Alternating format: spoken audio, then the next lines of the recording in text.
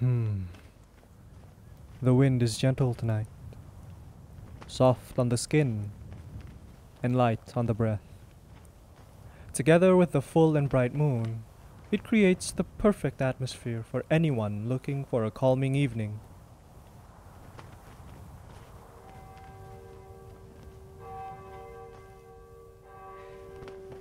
Ah, sounds like it's dinner time. Although, I fear that for the people of this town, that bell signalizes something else entirely. No, for them, the bell of the town hall is a call for convention. They shall assemble in the town hall to discuss the crisis that has struck their quiet little town. A horrid creature that terrorizes the night, stalking people, and filling their hearts with fear before taking their souls. The Midnight Menace. Honestly, I quite appreciate the title they've given me. I feel honored.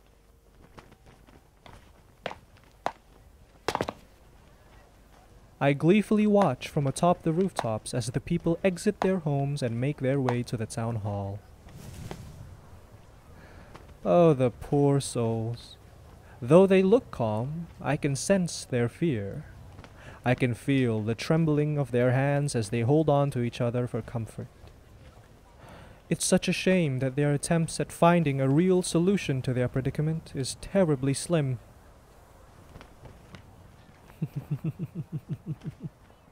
I am truly awful for finding such amusement in their suffering.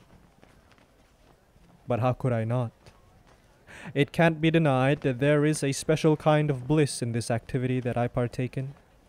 A bliss that many would never understand. I have no shame in indulging myself in the delights of my favorite hobby. And truthfully, hiding behind trees and waiting to pounce on unlucky passers-by could never come anywhere near being as exhilarating. Why would I subject myself to such monotony when the alternative is far more enjoyable? Truth be told, it was never my intention to be scouring the night and hunting lonely prey in the streets from the rooftops. It was pure coincidence that on one particularly serene night, I decided to climb onto my roof to be with the stars. It was a beautiful night. And then there she was, a beautiful young woman dressed modestly, a poor lone soul casually walking the streets past midnight with not a care for her life.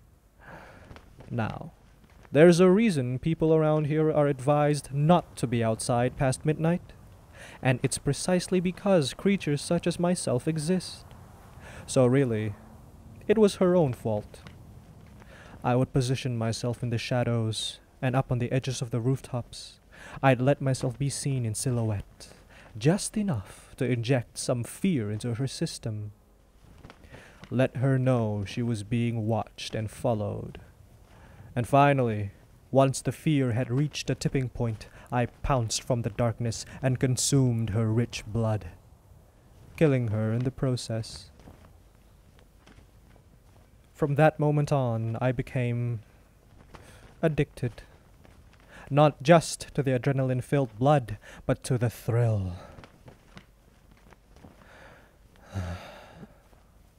Father would have abhorred my actions. We are civilized vampires, he'd say. We take our food and we slaughter them properly. We are not savages, and we are not cold blooded killers.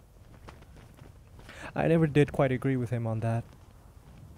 Historically speaking, our kind and the humans were never really on the same side of the fence, and for good reason. We cannot treat them like livestock the same way lions don't treat zebras like livestock. They hunt, and so do we. Father also told me never to play with my food. Well, Father told me lots of things.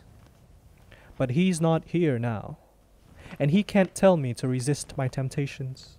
And let's be honest, if he were here, if he were to try doing this just once, I bet he'd be absolutely in love with it too.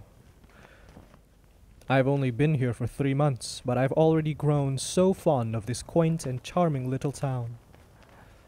Fond of its people, fond of the many quirks to be found around every corner. But alas, all good things must come to an end. It will be sad to see this place so desolate once I'm done. I tip my hat to you, fair folk of the town in the middle of nowhere. It has been a joyous three months, but I now must bid my farewell. As a parting gift, I shall allow you to be part of one final feast. I begin making my way towards the town hall, silently jumping across rooftops unbeknownst to the people below.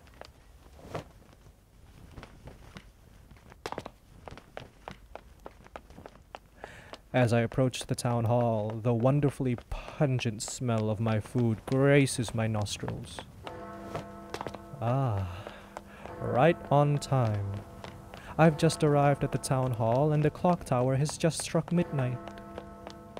Time to feast.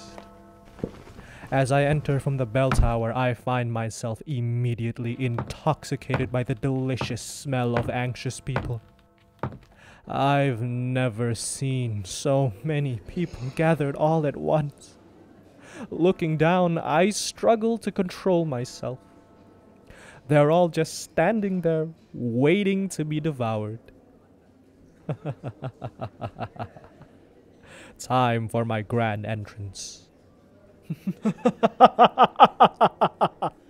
it is time for a feast.